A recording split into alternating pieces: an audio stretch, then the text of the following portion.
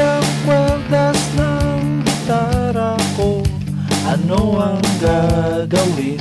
Di ko na namalayan, di ko napansin Di ko buhatin.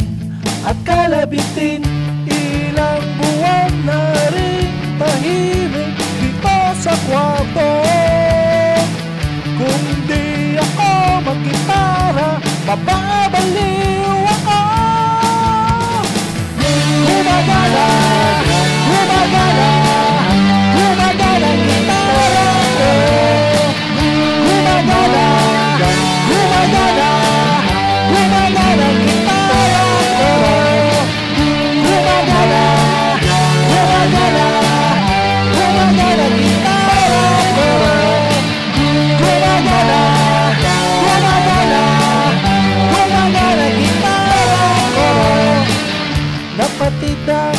Kwerdas ng gitara ko.